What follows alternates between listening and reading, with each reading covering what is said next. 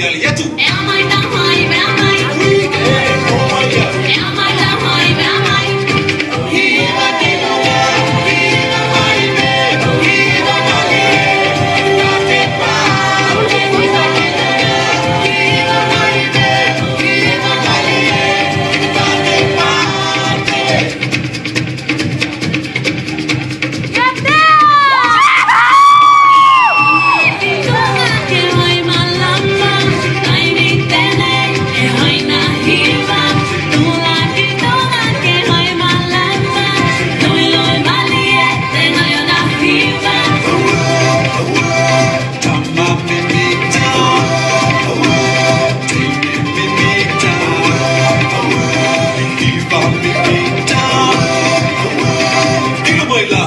هي اليد